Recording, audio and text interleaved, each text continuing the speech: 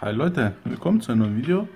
Ich möchte euch heute eine praktische Nachttischlampe vorstellen, ähm, die mit einem Bluetooth-Lautsprecher ausgestattet ist. Ihr hört hier auch schon, der Sound läuft hier. Ähm, mit einer gut lesbaren Displayanzeige hier unten.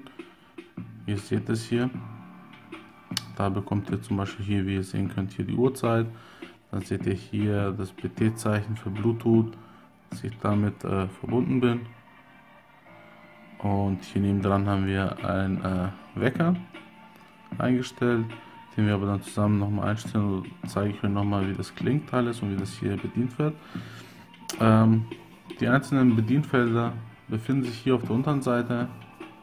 Einmal hier oben für, das, für den Lautsprecher und hier unten die einzelnen Bedienelemente für den Wecker, den Ein- und Ausschalten des Weckers, hier die Einstellung für den Wecker, dann habt ihr hier die Uhrzeit, die ihr einstellen könnt. Und hier einen äh, Schlaftimer, das heißt, ihr könnt hier von in 10 Minuten Takten bis 2 Stunden einstellen, wann der Lautsprecher sich ausschalten soll. Also auch das Licht ausgehen soll, wenn ihr dann äh, wisst ungefähr, ihr schläft in 20 Minuten ein, dann äh, stellt ihn auf 30 Minuten, dann schaltet er sich ab. Je nachdem, wie ihr das wollt. Ähm, er wechselt auch seine Farben. Die werden einfach hier oben per Touch äh, bedient. Das heißt, wenn ich hier drauf drücke, so, das ist jetzt ein Modi, wo er die Farben dann selbstständig wechselt. Das können wir hier so anschauen.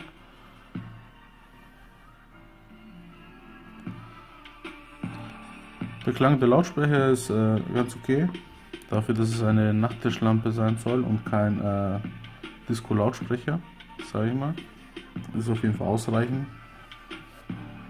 Ähm, ich würde sagen, wir stellen hier einfach unten mal den Wecker ein auf äh, 20 Uhr, machen wir mal 42 ganz schnell.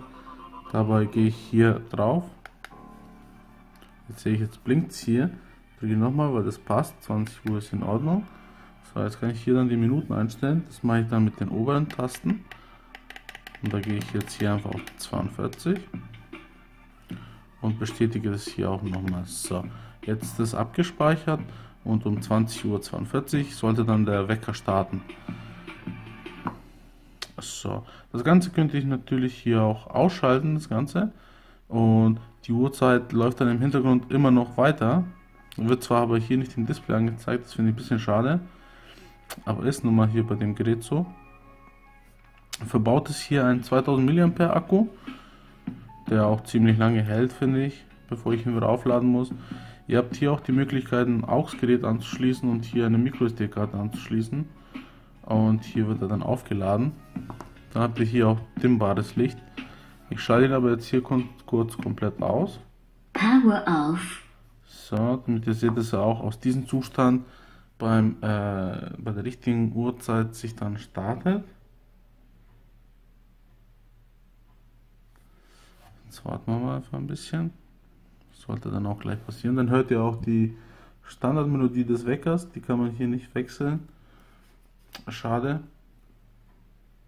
Ähm, ob das mit einer SD-Karte funktioniert, also Micro-SD-Karte funktioniert, dass er dann die Musik abspielt von der Karte, habe ich noch nicht probiert. So. Die Musik wird auch immer etwas lauter, so dass ihr hier oben einfach auf den Touch drauf gehen solltet, um das, den Wecker auszuschalten.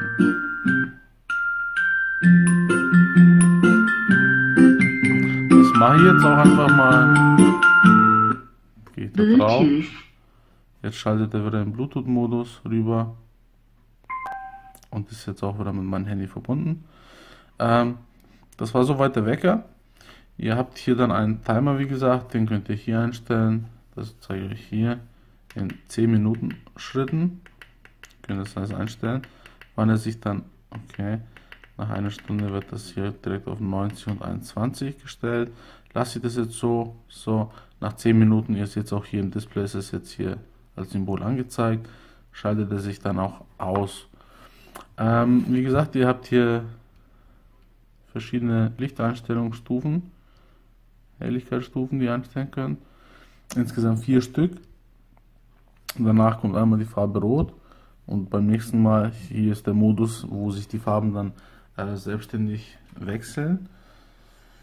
Ähm, ja, von der Bedienung her habt ihr gesehen, es ist ziemlich einfach. Wie gesagt, es gibt hier nicht, äh, ich kann auch das Licht einfach ausschalten und dann der Bluetooth läuft natürlich weiter. Die Musik hier. Hier habt ihr den Gummi, gummierten Ring, damit das einfach stabiler am Tisch sitzt, wenn mal die Musik richtig aufdreht. Ähm, wie gesagt, vom Klanglich her ist das ganz in Ordnung. Es sind 5 Watt Lautsprecher drin.